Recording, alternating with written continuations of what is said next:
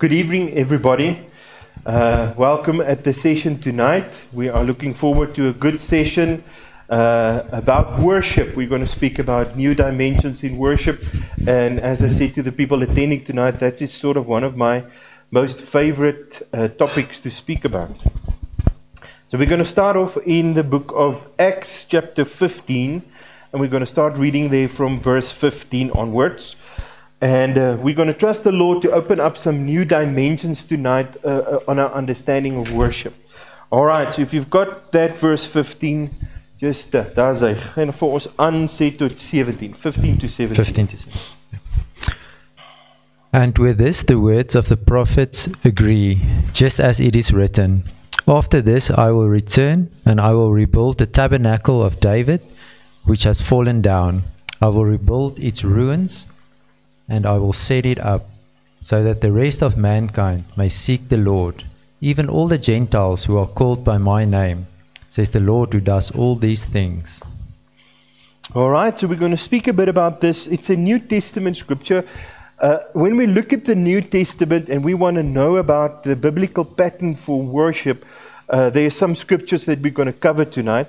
Another one that I want you to go to, let me just find that, is in John 4 24. Now, John 4 is one of those scriptures that I really, really do enjoy. There's a lot to say, just the whole study just on, on John chapter, chapter 4. Very, very well known scripture.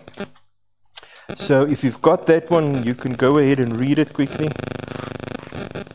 John 4 24.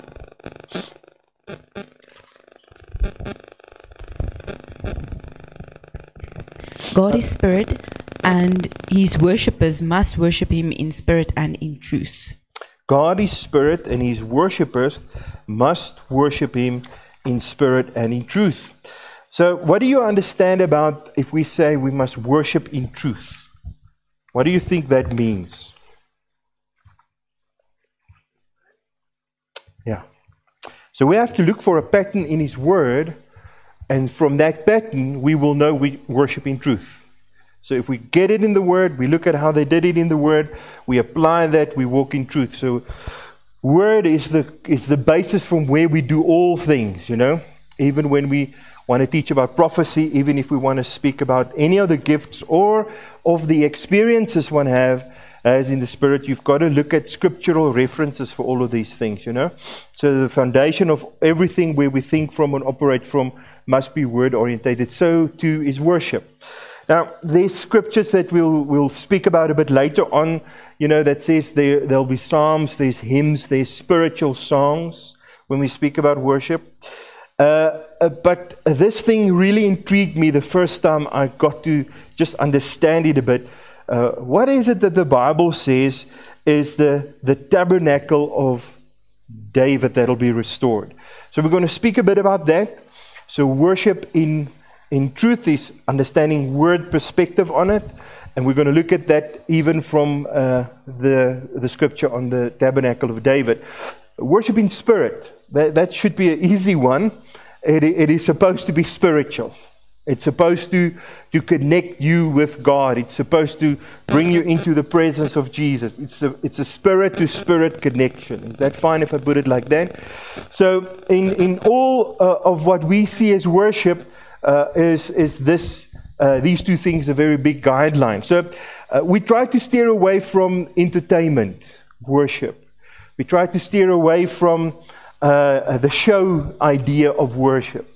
Um, so the, the typical thing nowadays is to make a place dark and put spotlights on and have smoke machines and have all sorts of uh, soulish things, external things, trying to create the, the experience of worship.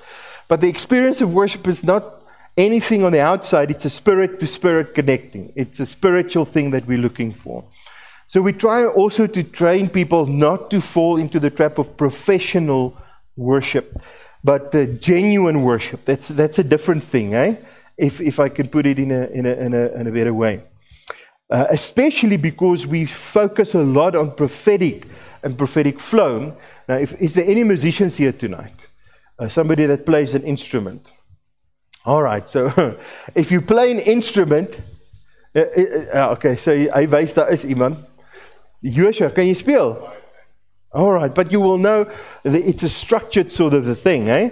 So when you work from the, the sheet music, it's got a specific rhythm, it's got a specific the, the melody, everything is very specific. And um, I used to play in worship bands my whole life. I actually got saved behind the piano.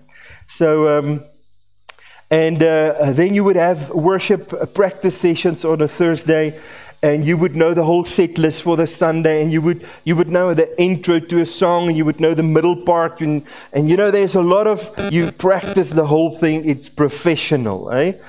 And and uh, on Sunday morning. Uh, you know exactly what's going to happen, and, and it's going to happen that way. And you know, if you come as far as I've come, it's three fast and two slow in the old Pentecostal, you know, sort of churches. And uh, so you already knew the whole, whole sort of way that it would be done.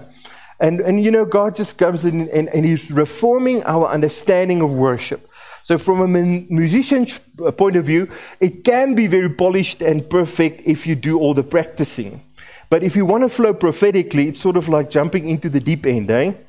And you have to have musicians with you that can flow in the spirit, not on sheet music, you know? And a lot of musicians don't like that because it takes that edge away of the professionalism, and they have to now sort of uh, be able to follow if there is a, a, prophetic thing that's happening. And then they're not sure what's the next chord. They have to listen for it. They have to be careful to change and to flow and to move with the, the person that's leading it. But, but it is incredible the result that'll come from all of this. And we're going to speak a bit about that different sort of a way, moving away from the entertainment sort of thing and moving into the spiritual understanding, scriptural understanding of it. Hey? So, how many of you have got different uh, tastes in music? Who likes jazz? Yeah. Uh, I like a bit of blues, all right? So, uh, in the old Pentecostal church, it was sort of a, a, a marriage between country and boeremusiek, you know? They gelled, and then you had a, specific sound that came out. We always laughed about it.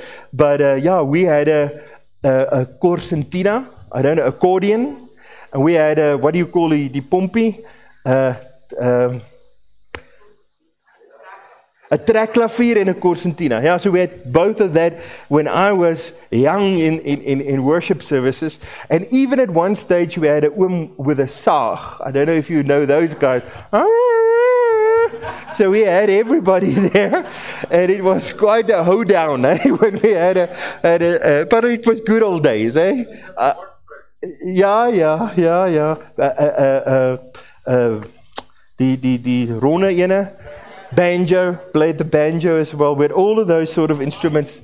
Uh, yeah, I used to play the Hawaiian guitar uh, in the band when I was younger. So, all sorts of things. When we had conference time, every church gave a musician uh, in Namibia. I'm from Namibia. And then we made a joyful noise to the Lord. Eh?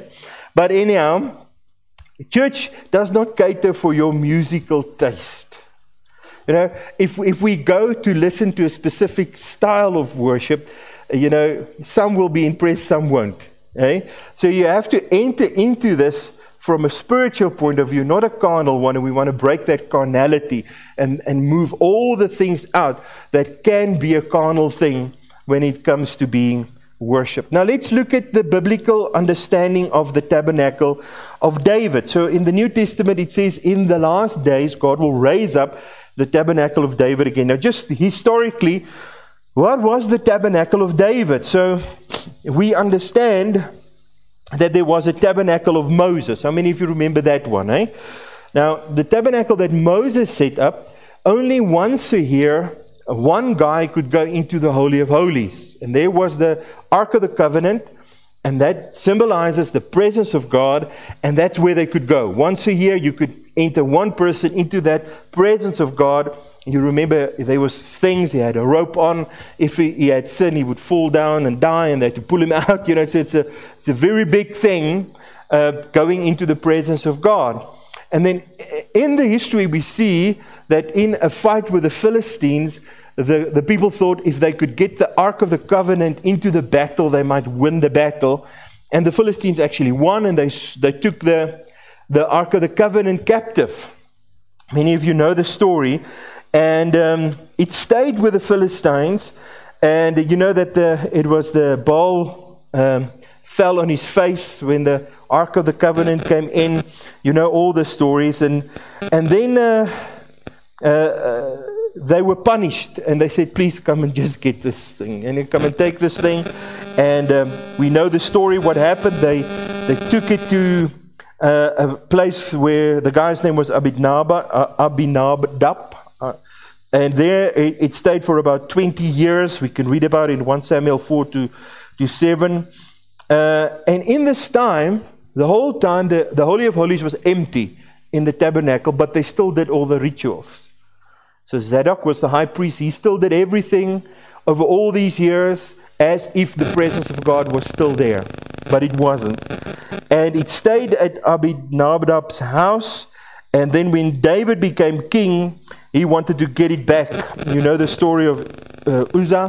They put it on a new new uh, chariot, and they, he stumbled and he tried to, to, to, to keep it from falling. Touched the ark, died immediately. David realized, okay, problems. They, they, we need to do this in, a, in the right way. 1 Samuel 6, uh, from verse 15 onwards, you can read about that. Or 1, uh, uh, 1 Samuel 6 and 1 Samuel 7, those two chapters, you can read it. That. And that was at the house of Obed Edom, also a Philistine from Gath. And it stayed there for three months. And then David discovered all right, you'll get this ark back to Jerusalem with a lot of sacrifice offering. So you had to get uh, priests, Levites, to go, and they had to carry the ark. Now, it was a heavy thing because it was made of gold, was plated with gold. And interestingly enough, this is one of the things that Apostle Andre taught us just when we planted the church. Maybe I can give it as a bit of wisdom here as well. Is that the Bible says they had to open their shoulders and put the ark's poles on the shoulders. Nou in Afrikaans werk dit mooi Uh, wanneer jy kerk plant het jy nie toeskouers nodig nie. Jy oop skouers nodig. Mooi? Those who will be able to carry the weight of what needs to happen, you know? So uh, it was a sacrificial thing and then they had to every seven steps that they took they had to offer an animal. So you can think it's going to take some time and there was a lot of blood involved and it took a lot of time but eventually David got the ark back into Jerusalem. Now, he was supposed to take the ark back to the tabernacle of Moses to put it in the holy place, but he didn't. Uh, on in Zion, he pitched another tabernacle and he put the ark of the covenant in there. And this is where the beauty comes about the tabernacle of David, which is now spoken of in the New Testament, that in these the last days God will restore what they had in the tabernacle of David many centuries before. So, obviously, the tabernacle of David, uh, anybody had access to it, and they had access to it every, you know, whenever they wanted to. It was not restri- restricted to just one person, but everybody could go in and David set up worship in this tabernacle for 24 hours a day for as long as he was king. Isn't that incredible? So there was worship there continuously, day and night, as long as David was king. And that's where he, in the presence of God, wrote many of the Psalms that we have today that we can refer back to. Uh, he went into that place of the presence of God before he went out to war. And he was a warring, warring king, eh? But it's very interesting to read about this and how he set it up. And you can read 1 uh, Chronicles 13 to chapter 16 to see more about it. But he appointed singers and musicians to prophesy on their instruments. Now, this is very, very awesome. 1 Chronicles 25, verse 1 in the Living Bible, it says, David and the officials of the tabernacle appointed men to prophesy to the accompaniment of zithers, harps, and cymbals. This is Old Testament, eh? This is not New Testament, this is Old Testament. And this is the way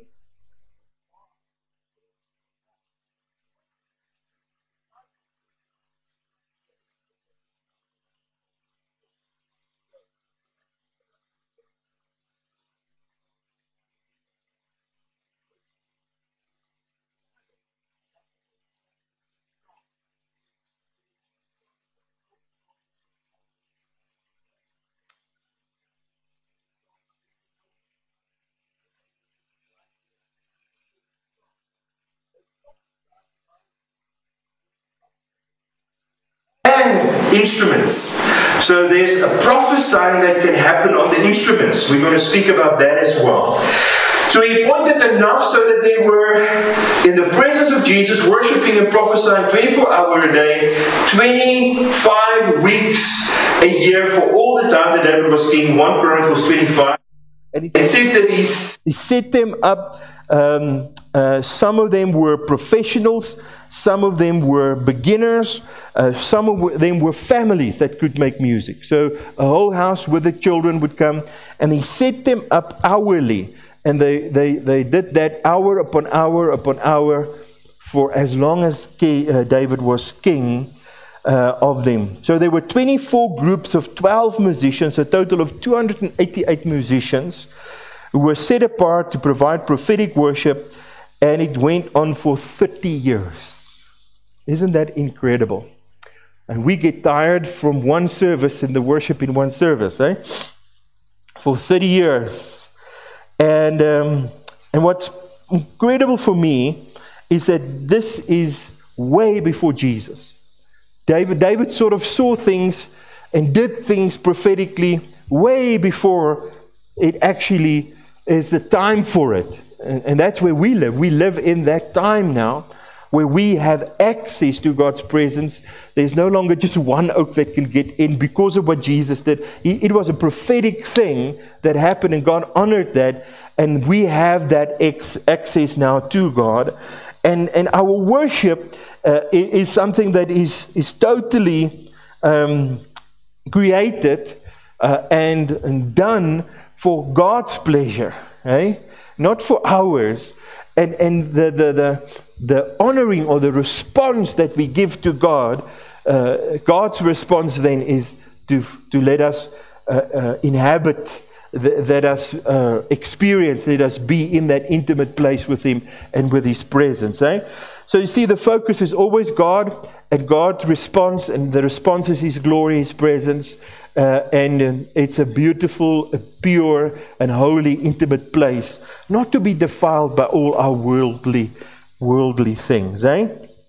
So we try to break the whole thing with uh, singing, you know, the top uh, gospel songs, the new hit parade. We try to be genuine. We try to, to, to be in the moment. So what was, what was reformed or what has changed with worship is that we don't come to worship uh, on a Sunday with a plan. So there's no set list. Uh, when I sit down in front of the piano with the worship team, they don't know what's going to happen, and I don't know what's going to happen. And uh, we do a practice session, setting up for sound and getting everything, everything ready before the service starts. And in that time, we start, I start to scan the Spirit. And God works with me with pictures. So, and, and if it's going to be prophetic and it's going to be profound, I need to see what God wants to do. So, God will start with me with. Uh, a picture or a, or a topic. So I would know this morning it'll be all about repentance. And then there are songs that I know that will connect to repentance. And then when I get to a place where there's no longer a song that I can connect to this sort of sort of a flow, then I've got to trust the Lord and I've got to sing from the Spirit a new song. So it challenges us to move in a totally different sort of perspective or a different sort of a way. So, sadly, in the biblical times, when David passed away, Solomon built the temple, put the ark back in the temple, and they went back to the old way of doing it, you know? Only one person once a year, and it got lost until now in the New Testament in Acts, where it's proclaimed, For these will be the ways we'll worship in the last days. We are living in the last days.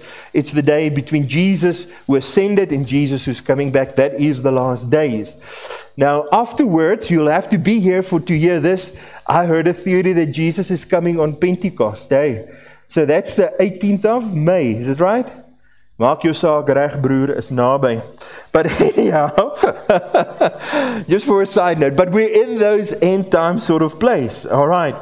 In Amos 9:11 we find the same prophetic word and you can go read it again.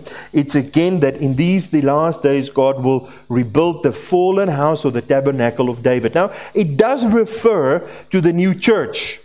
We are the new Israel, eh? We are the new church. God will rebuild his people. That's us. We are those whom he, and that's true. Exactly, that's what happens.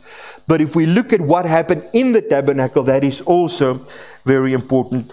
Uh, will you, Ilana, just find that scripture for me that while the first tabernacle is still standing, now this is very important.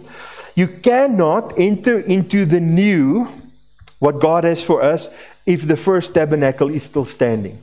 So what happened there? The first Moses' tabernacle was still there. David did the new one, but they were unable to carry on with the new because the old was still standing. And there's actually scripture in the in the book of Hebrews where he speaks about this, eh? That God has made for us a new and a living way, but we cannot get into this new and living way uh, uh, unless there's no longer an old tabernacle standing. We have to, to get out of the old mindset and way of doing things to progress into what God has for us in the new. So again, if I go back to the three fast, too slow, is it took us time. The mentality was you have to work yourself into the presence of God, eh? So you've got to earn your way, put it like that. And then you know that you've got to do this, you've got to do this, and I will enter his gates with thanksgiving. Ons begin, ons gaan nou die proses gaan. You have this whole process driven sort of idea, which is actually a, a very legalistic sort of way to look at it. But I want to say to you, if you understand the deliverer or the, the liberty, let's put it like that, is that, and I've experienced it, guys, if I put my hand to the piano in that moment, heaven is there. It's not a process, it is incredible. Whether it's a joyous song, whether it's a, it's a, it's a deep worship song, you just, whew, the presence of Jesus, the glory of God is there. Eh? On Sunday, had an incredible experience in our worship. Now, for, for uh, a, a whole lot of time, especially during COVID, I heard a, a, a sound of a trumpet. But I knew it was spiritual. It was never physical, it was spiritual. So I knew it was spiritual, and I heard it while I was singing, and it was beautiful. On Sunday, I actually heard voices with us because uh, I don't know, it was just another dimension. I heard some some beautiful tones and uh, voices, and we were actually a, a smaller group singing than usual. And at one point, I heard a, a shofar blowing, and it was for me not spiritual but in the natural. That I stopped the service and asked who, who blew, because I wanted to explain what, what do you do when someone blows a shofar? It is an announcement. So it's not, the, shofar was never used for worship. It is to announce something. So if there's a, a, a, shofar blown, we need to stop and say, okay, what is it that God wants to announce now? What did we just sing prophetically? This is an announcement. It's a decree by the Spirit. Let's agree with the announcement. Blow it again. You know. So I want to do that, and there's nobody that blew the. And I was dumbstruck. Never mind, because I was convinced someone in the crowd had a ram's horn it stirred me tremendously. But God's presence, the holiness of God, is something that is supposed to be. It's a new and a living way. It's an easy way through Jesus Christ. It's not an earning it. You don't have to press for it. Uh, just read that scripture.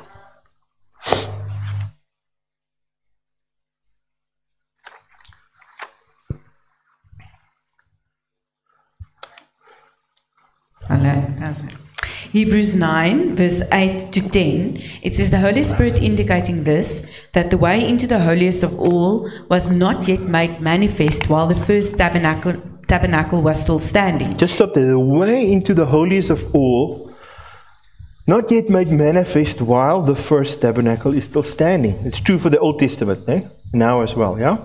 It was symbolic for the present time, in which both gifts and sacrifices are offered, which cannot make him who performed the service perfect in regard to the conscience. Concerned only with foods and drinks, various washings, and fleshly ordinances imposed until the time of Reformation. Sure. So, Reformation is here to reform us so that we could get out of the symbolic stuff into the reality of things. Isn't that good? But the way into this presence can never be entered until we say goodbye to the old way, the old tabernacle. So we've got to step away from the performance thing the washing of hands, the nice songs, the nice music, all the things that we've learned so many times in the charismatic.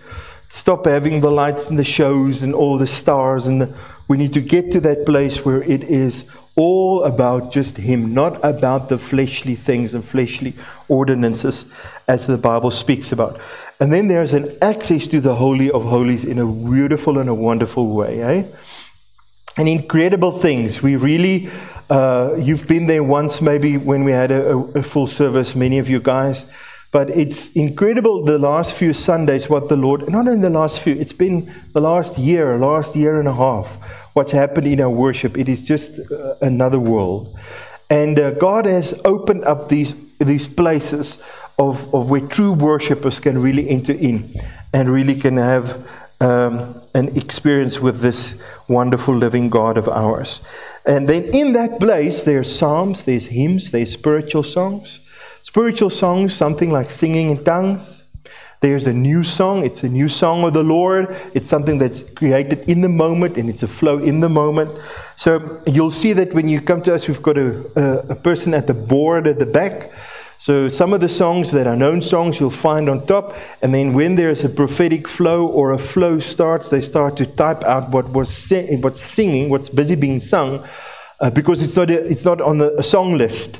And then you can't necessarily sing along, but then you're supposed to look up and follow and hear what the Lord's saying because it becomes prophetic. And if it's a refrain, you can start to sing the refrain with to sort of earth it in your spirit. But we call it scribing. It's the same thing that when somebody gives you a prophetic word, you've got somebody writing it down, giving you the word. So we've got scribes appointed in the church that if there's a prophecy, someone will come, write it down, and give it to you after the service or just after say, This is what the Lord said to you. Because we don't want to lose the prophetic intent that's happening in the services. And every service is scribed, it's saved, and if you want the prophetic flow of that meeting, we mail it to you. And you can go through what the Lord did and what the Lord said in that service. And we encourage the people to have a little notebook in your pocket. So during the worship, while you're worshiping, and we expect it to be prophetic, so it's not only us to God, but God to us, and God starts to speak through the prophetic. Take your little book, write down. God is saying the following to me. He'll give you word from the prophetic flow. So you'll see sometimes when you're there, people will worship and then suddenly they get a book and they start to write down what the Lord is showing to them, close the book, put it back, and go into worship and continue. That's wonderful because that's what we, God is reforming the way of prophecy as well. Eh? Prophecy is no longer just standing in the queues and people coming to you and you sort of shotgun prophesying for each one. Uh, God's reforming all things. Amen. And I believe we're in a, in a time of major reformation. And there's wonderful new spiritscapes, landscapes, spiritscapes to discover in the Lord if we just would allow time and allow people to just step in to what God has for us. Eh? So, um, so we encourage that sort of thing, the scribing, so that there will be a flow. People can see and can read, they can connect with that. And for that moment, you, you don't have to sing along, but then when you understand and you've got it, you can flow again and you can sing with it. What an incredible thing. Now, secondly, also with David, David was, was the, he wanted to build the temple, but he couldn't because God didn't want him to do it.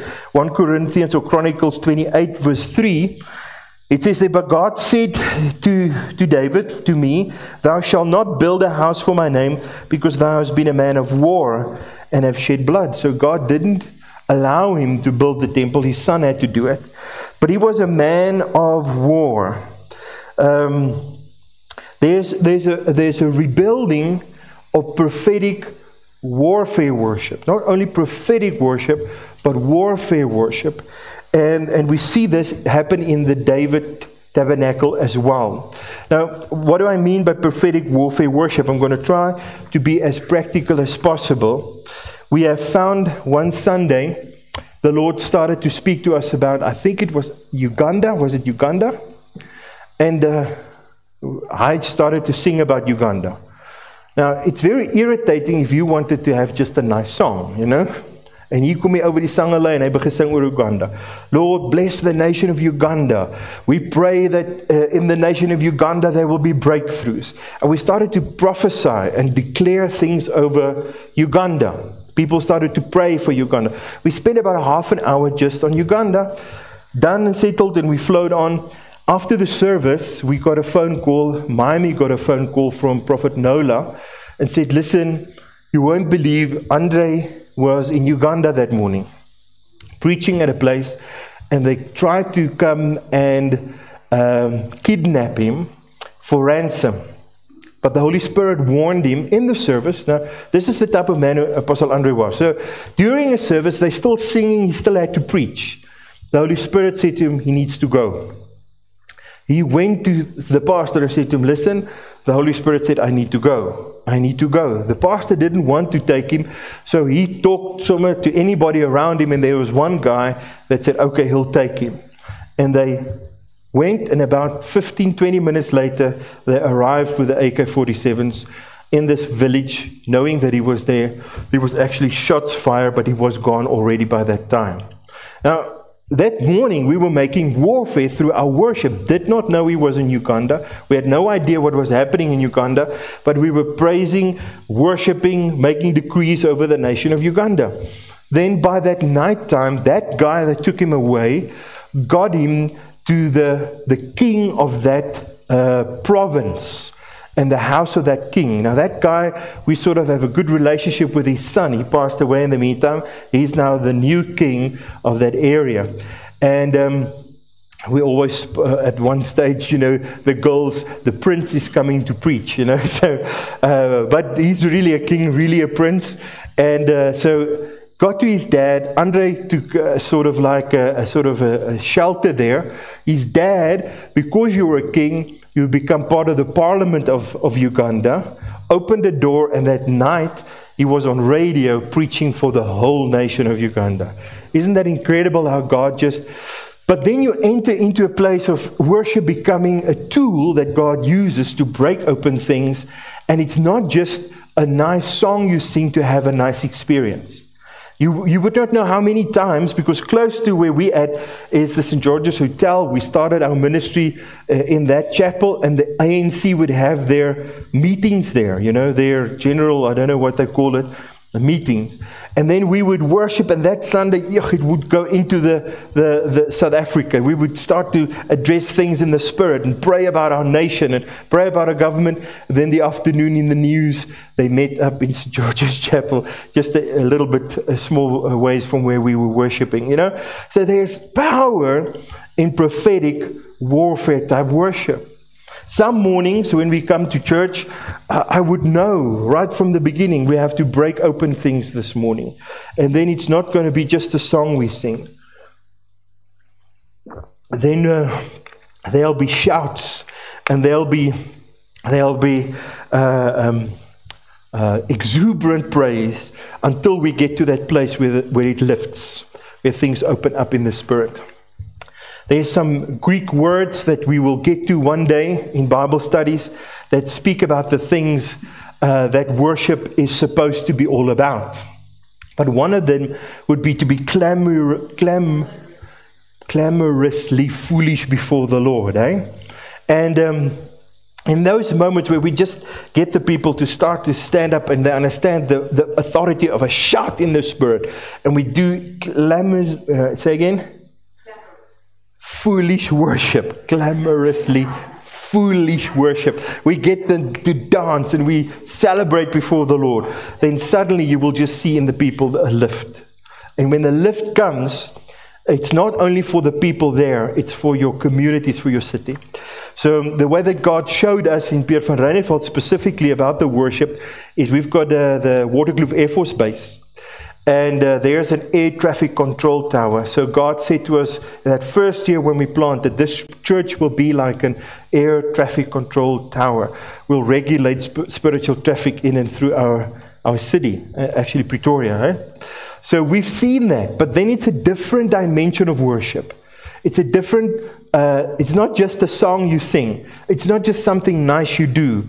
You come ready to enter in. And those of you who've been at our church, you'll see the people come and they're ready. And sometimes while we're practicing, they will pick up, the people will already pick up there's a flow, and then they will come to the front without us even uh, asking them to come. And some of them will start to enter in and start to worship and make warfare. That's very, very, very important to note as well. All right, so I'm not going to go further into all of that. If, if we speak about this type of worship, as I said, um, in your notes you'll find the scriptures that'll bring you to some of these these um, these uh, things that I said, barak, the praise words, a shout, and all of these things. Uh, how do you enter in? Number one, it's by faith and not by feeling. So you don't come to the front feeling I want to go to the front. So it's a faith act. It's an act of faith. So worship, even when I go sit there, it's an act of faith. It's not an act of feeling. I don't go by my feelings. Some days you are tired, you've had a long week. Some days you get there, it was a, a, difficult journey to the church. I don't know if you've got small kids or whatever, but when you get there, you have to enter in by faith. I'm going to do this by faith. Now, the shift comes in your mind when you understand that corporate worship is different than individual worship. So I always say to the people if you want to be alone with God, be alone with God when you're alone. Can I say that again? If you want to be alone with God, be alone with God when you're alone. But when we come together, let's together establish something in the Spirit that is powerful. So I add my worship. I join my worship with your worship. You get the difference? So even if I do not feel like it, I am now here and I enter in by faith so that we together can establish something in the spirit over our community, our city, or our nation. You see the difference? And then you'll see once you align yourself and this corporate worship happens, the experiences will come. But you don't go for the experience, you go for the, the work of worship. Is that good if I put it like that? So you have a mindset I participate in the worship. I, I, worship with. So you'll find it in the Old Testament as well. Uh, we've got a dance leader or a worship leader uh, and a worship leader. The worship leader is the guy on the piano or the guitar or something in front.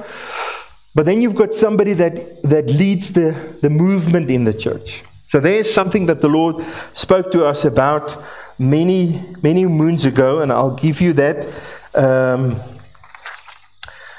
word that the Lord gave Harvester, it said, God is looking and waiting for a people who are set apart to take hold of the supernatural, to bring it into the now of God, to the body by dancing and forcefully aggressively uh, dancing it into existence. So uh, you'll see that there's people that that's in front. So, there's many of them. There's not only one or two, but there's usually two and the worship leader with those in the movement they they sort of look at each other flow with one another. And it's incredible. Sometimes the way they move will determine where i go with the song. And where i go with the song determine how they will do prophetic actions. And everybody join in unity with them. Miriam led the people in dance and they all in the jewish way followed the way that she danced so we've got this way that the Lord has showed us that without even props, we do it corporately. So everybody does it. So you can be in the, in the, in the, in the chairs and you can be in front, but corporately, we are breaking down strongholds, and then we sort of show how we're breaking down the strongholds. And while we're singing about breaking down strongholds, you are showing, I'm breaking down a stronghold. And it's nice if you have a man, because the man has got more manly moves than the girls. Uh, and so the guys look at Tony sometimes, and, and they follow Tony, and the girls look at Mimi or at uh, uh, Amelia, or who's leading it that day. And then we follow that. But we try to connect because there's a correlation between the prophecy and an action in the spirit. So when David had to, to stand in front of the, only David, nie Moses had to stand in front of the, the ocean, he had to take his rod, and, and there's a corresponding action in the spirit. In the same way, there's a corresponding action when you put not only your voice on the line, but your body on the line. Is it good if I put it like that? So it's actually not dance, it's more movement, but we are doing it corporately and we're seeing ourselves as an army unit before the Lord. And today's worship will establish and accomplish things. And you won't believe the, the testimonies that comes out of this way of worship where where somebody and that's what i'm saying sometimes you don't even feel like it but you're stepping up in front and you're doing the movement and as person in the in the pew see that movement they hear the song and they receive by faith and god brings a release and a breakthrough for, for them. So it's not only just for you. You worship as a unit and god starts to do things in that that corporate unit way unity way of worship. Guys it's powerful it's powerful. One Sunday morning, um, I had a very stubborn member at that stage, and she gave me lots of prayer pointers. And um, uh, that Sunday, uh, holy moments. Uh, but before those moments come, she never wanted to enter in always, and we never force anybody to do. This is something we train you in. You have to build your faith for it, and then you go for it. And that Sunday, she decided, okay, she, she was struggling with a tremendous backache. And she said, she, okay, Lord, I'm going to do this now in obedience, not in feeling, but in obedience. And she stepped out, and just as she came to the front, it changed, and, and people started to spontaneously just lay before the Lord. Nee? Now she's thinking, oh my word, my rug, and now moet ek lay. And uh, she obeyed. in obedience, she did it. And she said, when she touched the floor, and we've got a cold floor, when she touched the floor, it was like a hot flame in her back. God healed her back immediately just because of the, the place of obedience in that moment of the presence of God. I want to introduce you to a new way of worship, a new way of understanding worship, a way that you can enter in that as a corporate way. It's more than just a nice song we sing, eh? It takes humility, uh, faith, it takes humility. Uh, it, it's going to take a bit of guts, but you know what? If everybody does it, you're going to be the only one not doing it. So that's sort of the place where we're at in our church at the moment. And um, the big thing is that you would step out of, of that individualistic sort of way, start to understand the power of the corporate way of worship. Is there something that you might just want to add? Just give her the mic there because she's been worshiping with me forever. Hello. Okay. So um, you read out of 1 Chronicles 25, but the first two verses there, it says, David, together with the commanders of the army, set apart some of the sons of Asaph, Heman, and Jeduthun. So Asaph means unity, Heman means faithful, and Jeduthun means flow like oil. And those are three very important elements when we worship. Um, the flow like oil speaks for itself. Um, it's faithful men and women. The Lord works through faithful men and women. And then I want to get to the unity. So Cor- Coral was speaking about the corporate anointing when we worship. Um, when we add our weight together with one another, we can do more. So that means we have to lay down our own agendas for the day, uh, what we would like God to do today, the plans we will we might have, and together we enter into worship, and the Lord will do what needs doing because He knows better than us through the unity that is established um, with with us in us. Awesome. Now, so we all used props at one stage. I see you guys have flags as well. That's wonderful. Uh, there's beautiful things you can do with the flags, but you know, we, we sort of left all those things behind for the sake to get everybody to do it. So there was a time where we had, you know, these ladies with the white uh, gowns, and then they would come and they would do a, a dance in front, of a prophetic dance. Beautiful, but we want to break the spectating th- thing because we want to create the unity thing. So what happened? It was beautiful, but it was again you sitting back and we're spectating. So one of the ways that we broke these these things is we uh, we have a, a, big space in our our tent where there's space to move and dance. But at one time we had to take some of the chairs out. When people came to the service on the Sunday, there's no place to sit. We said, okay, today we're going to move and we're going to do the movement. And you're going to look at this person. You're going to flow with this person. Eh? We made a lot of errors, a lot of mistakes, you know, uh, boards with spelling mistakes, and we still have that. But it's the heart that matters. Eh? It's to get us into that place where we really come as a unit before the Lord.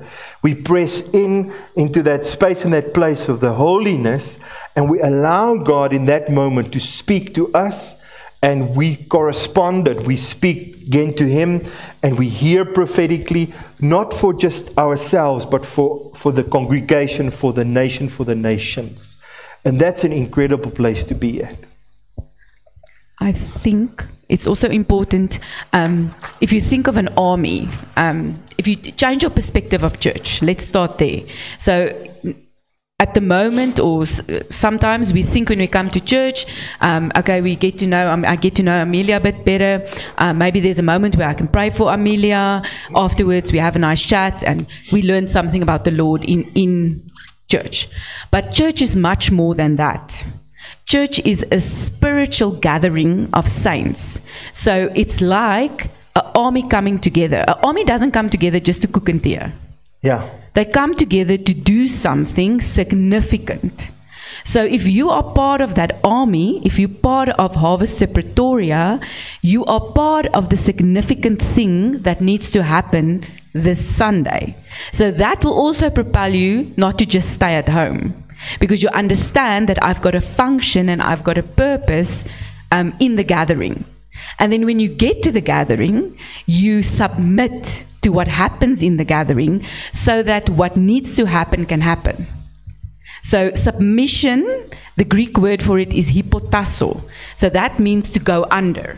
Ne? I always remember it, I, I think of a, a hippo.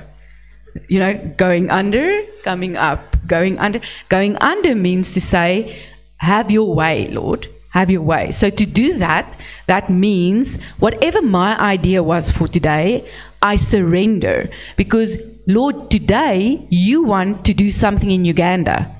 And I am part of the army that needs to do that today.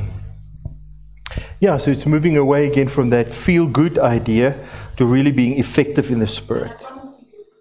Yeah, you, you're going to get there. you're going to get there. Um, in closing, we, we really speak, uh, we emphasize the fivefold, the fivefold ministries. But worship should be like that. There should be an apostolic sound, apostolic prophetic decrees. There should be a moment of intimacy and pastoral sort of connection with God. Some of the songs we sing will train you. There's a lovely song we sing, You can't hurry God. No, no, no. You just have to wait. You gotta trust Him and give Him time, no matter how long it takes. He's a God you just can't hurry. Brother, don't you worry. He's he may not come when you want him to, but he'll be right on time. Isn't that a, a nice kry hom sommer so 'n bietjie 'n goeie training session in, hè? Eh? so you, you've got to have all of these aspects in it. I want you to start to break the idea of Jesus, my boyfriend. You heard me right? Break the idea of Jesus, my boyfriend. Now that sounds a bit weird, but you know, people have made worship just this one dimensional thing that is supposed to be between the, the intimacy between you and God. I, am saying that in a way that it makes a bit sense and it, it hits home. We need to break that because He's not only your brother, your friend, He's also your Lord. He's the one with all authority. He, the Bible says he rules and he reigns through worship. He, he makes his seat of authority in the moment that you worship. Go read that scriptures, go test me in this. And God rules and reigns from that place of worship. The church is not peripheral to the world, but the world is peripheral to the church. And God decrees things into existence Things are shifted and moved. Destinies of places and, and cities and nations are established through accurate prophetic apostolic worship. So it's a different dimension. And start to embrace that, start to look for that, start to pray for that, start to look for the musicians that'll be able to move in that sort of a way. And boy, oh boy, worship will be something completely different.